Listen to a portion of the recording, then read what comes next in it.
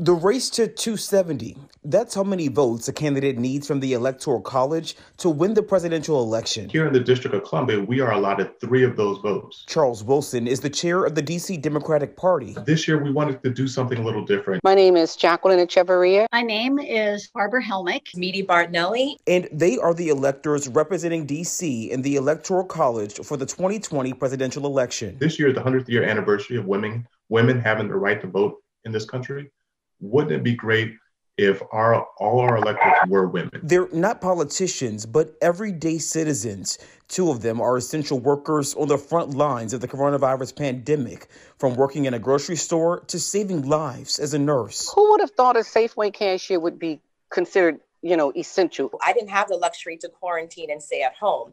You know, I came into my job every single day for 14 weeks straight uh, to check in on my team, of which I lead. And Barbara Helmick has fought for several social and environmental issues and is now the programs director at DC Vote. Um, I work to make DC become a state. All three women are hoping to see changes in the areas of education, healthcare, and equality during this next presidential term. Things like that are very important to me because these children that are coming, they're going to be the ones who have to make the decisions for me as a senior citizen coming up. The future is a big reason why this opportunity to cast a ballot in the Electoral College means a lot to these women, but also because of the shoulders each of them stands on of those who came before them. Women generally have to work twice as hard uh, to be taken half as seriously. And so this is really an important wonderful step that the party took and said,